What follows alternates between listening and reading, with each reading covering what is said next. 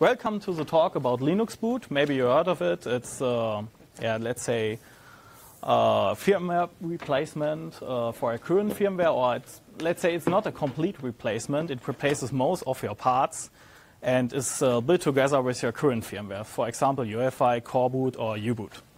Um, thanks to Trammell Hudson providing me these uh, slides because yesterday I got uh, the information that I can do a talk or I have to do a talk here after someone canceled his talk, so I'm a little bit unprepared. You know, I didn't do so much preparation, but it should work anyway. So let's start. So um, this guy is Ron Minnich. Maybe you can see him on the left side. Uh, he worked a long time on data centers uh, for the government and also now for Google. Um, and he was also the founder of Coreboot together with Stefan Reinauer. And on some point, they started a long time ago uh, the so-called Linux BIOS. Maybe you have, maybe you have heard of it. It's, uh, it's uh, started in 1999. And yeah, after some time, they had to rename it. And uh, since 2008, it's Coreboot. Yeah, basically, that's uh, what happened in the past. And Linux BIOS itself, the idea was that you use a Linux kernel instead of rebuilding your whole firmware with, let's say, your own implementation.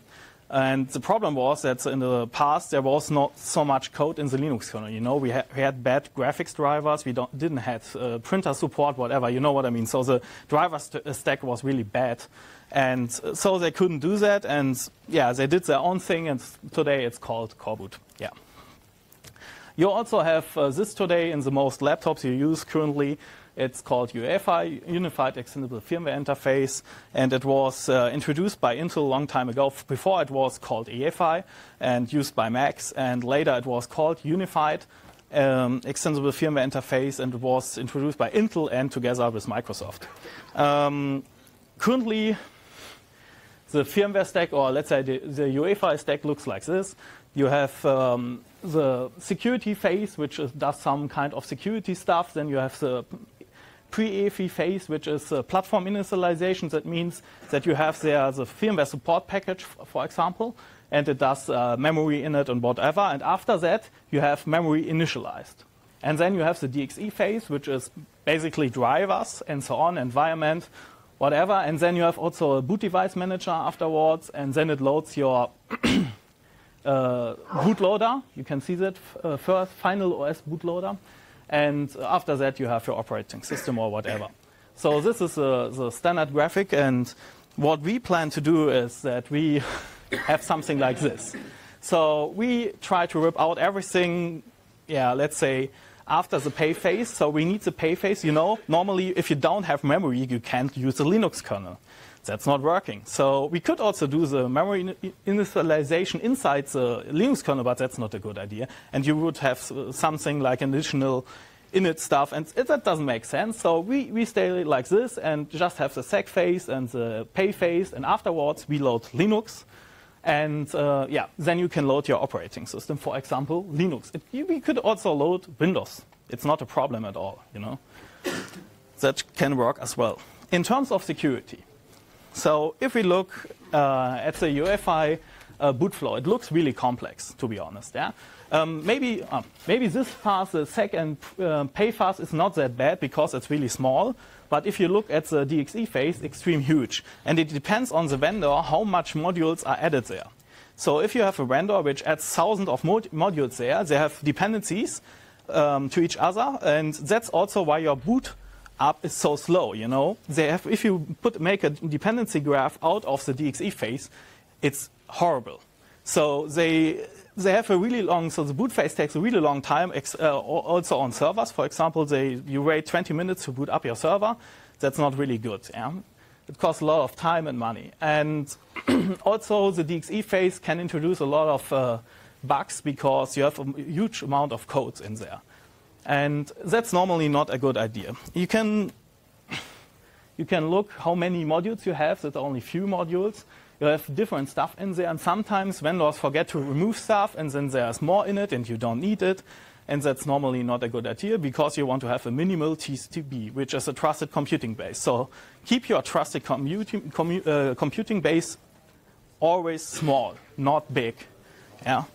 Um, also, in this, uh, in this uh, uh, schematic, we have the grub, which is our bootloader, for example.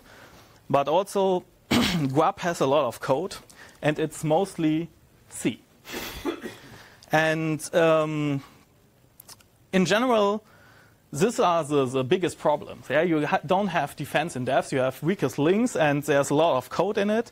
And if you look, we have compared some things. So you have UEFI, for example, you have grub, you have uh, the Linux kernel. They all implement, for example, what is it this time? It's the TP TCP stack. They all have a TCP stack. So your UEFI has a TCP stack, the grub has a TCP stack, and your Linux kernel has a TCP stack. So it's code, uh, so it's code duplication everywhere, really everywhere. And that's not a good idea. Same goes for FAT driver, file system driver, and whatever. So you can see that, yeah, USB and FAT so whatever. It's it's it's completely it's it's a lot of code uh, duplicated over some time, and yeah, that's not really good. So on the Linux kernel side, we have nearly unlimited contributors on GitHub. if you look at the EDK2 project, it's around uh, 144 contributors, and then we have grub with 100 and C, so not so much grub. So, and that's a problem in general. So the most developers doing Linux work and it's better maintained. You know, if only if for grub, for example, you only have maybe one core developer, some other developers working around, but they don't care so much about the quality of the USB stack or the FAT file system, rather. You know, and then you have bugs in it and security holes, and that's a problem. Um, yeah, currently this is uh, this is an interesting picture. So with coreboot, we had Linux boot since 17 years yeah, because you always can load with coreboot a Linux kernel. And um, normally that makes sense. You can use it on some devices and it works fine. But um, today it's uh, changed, the, the way of firmware development changed. We got more and more code everywhere, and it's a general issue that we have so much code currently which initializes the platform itself. So uh, Intel started to have a project called Intel FSP, which is a firmware support package and this uh, firmware support package uh, itself is a, does a RAM initialization, and afterwards you, you only do a small platform in it, and then you can directly jump to the bootloader. Um, the FSP can currently be used with Coreboot together. Afterwards, so you see this with a um, example. You have the PEI and the sec phase. It's around, so we don't have that in Coreboot, but the same level. Um, you have coreboot, the FSP, and afterwards you have the board in it, and then you load Linux boot. Um, same goes for UEFI. You have the PEI and the sec phase. Afterwards, you load, lo load Linux boot. So Linux boot itself, it's, it's um, independent from the firmware. It's the idea of having the Linux kernel doing all driver stuff you need to have for, for example, if you have a data center, you want to have a TCP IP stack for loading, uh, for example, images through Ethernet, or you have uh, different other use cases. For example, you can do in Linux boot, you can easily use wget, uh, mount tmpfs, the whole memory. Then you just download, for example, an X server, inclusive Mesa, through network, and also load Atom editor, start it, and you have an Atom editor in your BIOS. Yeah, on the flash chip. So in the memory, you can unpack it. It's so I only want to say all things you can do with the Linux kernel is really great. You have a small system, you can reduce it, and uh, you have two megabytes of Linux kernel loaded by the firmware itself. Yeah, and that's how it looks. Maybe you saw that on the Linux boot homepage. Um, so uh, the the basic stuff is done in um, for the RAM which is uh, UEFI PEI, coreboot ROM stage, and U-boot SPL and afterwards you load the Linux kernel, including an init RAMFS, and then you can uh, jump into your operating system or do other things inside your firmware. Yeah, that's how it uh, works. So, yeah, I'm done. that was short, but yeah.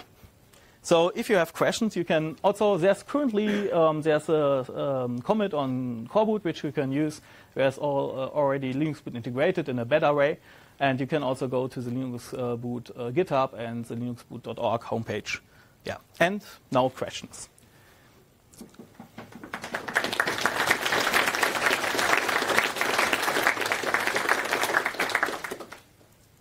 Yeah.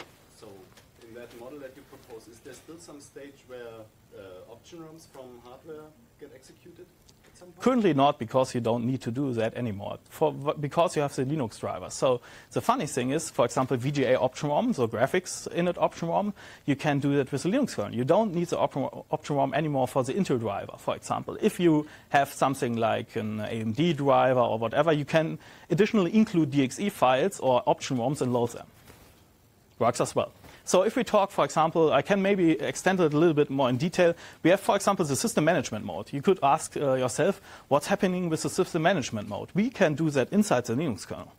And later have an, some application uh, doing interfacing, whatever. So that works as well.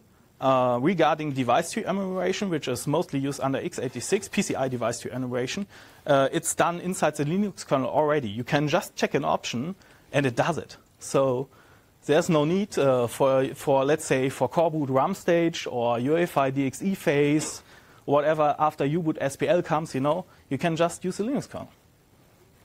Don't, uh, don't duplicate code. It's a bad idea. Uh, currently, you can do this with Coreboot as well, sure.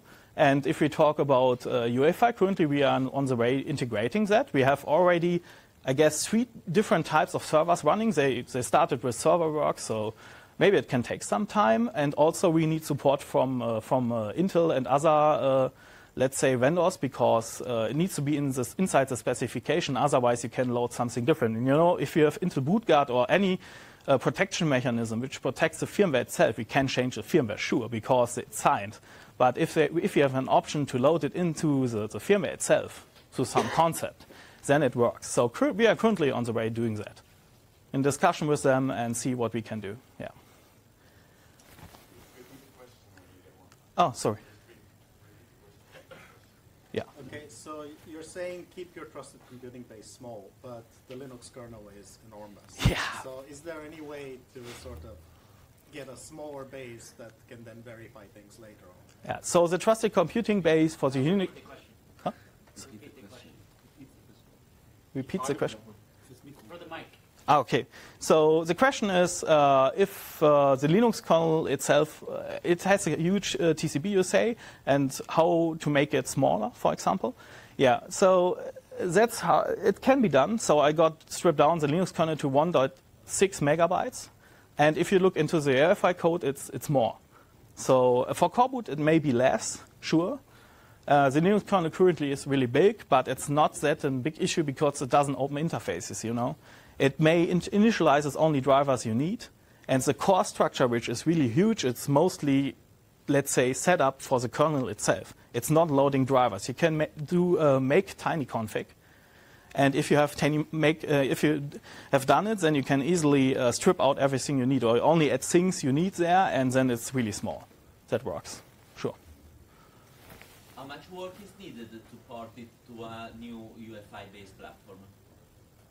Uh, so how okay? How much work is needed to port it to a new UEFI platform? Um, so we did that really fast. So maybe you need a few days to do that. Sometimes it's really easy because you just strip out the DXE modules and you, then you just throw in the, the, um, the kernel itself and it works out of the box. Sometimes you have problems, but it depends on the vendor, what they did.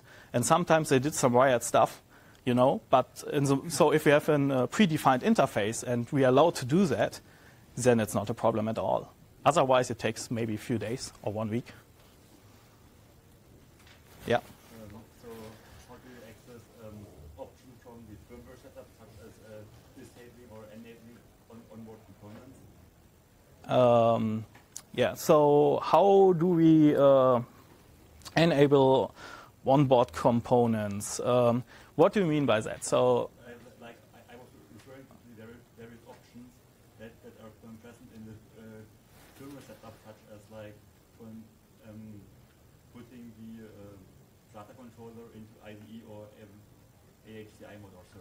Like all, all the all the options that are available from the so this can setup. Yeah, so okay, by setup. Okay, so this can be done uh, uh, normally uh, by parts of the. So you can you you don't have to strip everything out of the UEFI. You know, you can also keep some DXEs or write your own DXE which does the job. So that's what we're currently doing. We, we maybe have one DXE which does the job for UEFI. For Coreboot, it's not a problem. You have the code.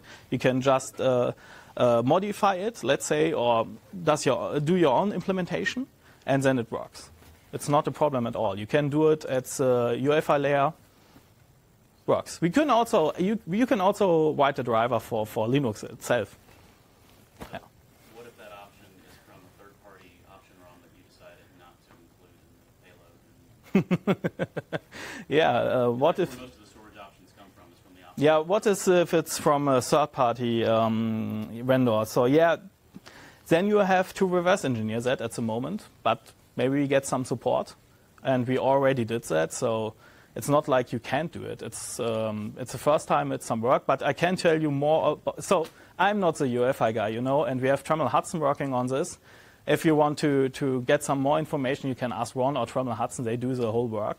Uh, I'm currently more on the Coreboot side, but I'm also looking into the UEFI stuff. Yeah. Um, I was wondering what's currently working in in, uh, Linux boot. Do you have Linux boot? Do you have a, a network boot? Do you have a UI? Do you have uh, So what do we have currently in for the for the init RAMFS? The init RAMFS itself can be every init RAMFS. You can load your own init RAMFS. Uh, we currently use U- uroot, and Ru- uroot is a Go uh, in Golang written init RAMFS. Maybe you want to talk about that. That's your part. So So, he's one of the uroot developers. just stand. Yeah. One of the possibilities. Yeah. Yeah, okay. Yeah, I'll, I'll be very quick. So one of the possibilities. Yep, on the camera. So one of the possibilities in root is to have whatever RAMFS you want, and one of the RAMFSs we are working on is uh, called uroot, Universal Root. Um, this RAMFS is basically an open source RAMFS written in Go where you can actually have your toolchain, which is either a BusyBox-like toolchain or uh, source code in your firmware that you can modify or compile on the fly on the firmware chip itself. And from there, you can literally wget your provisioning image and boot uh, your installation uh, software, or you can boot from disk, or you can ex- kexec into your kernel, or do whatever, literally whatever you want.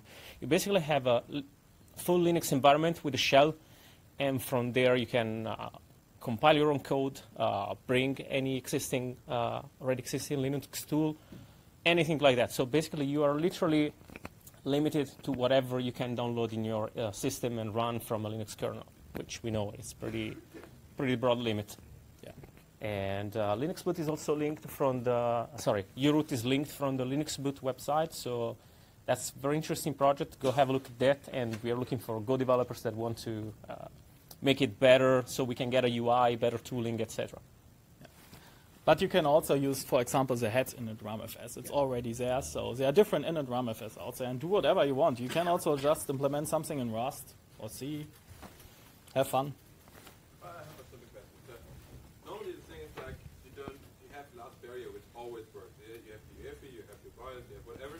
So afterwards when I have my, my own implementation or something and it fails, what is the fail state? How can I restore it? How can I get can I get back to a secure, good proven state?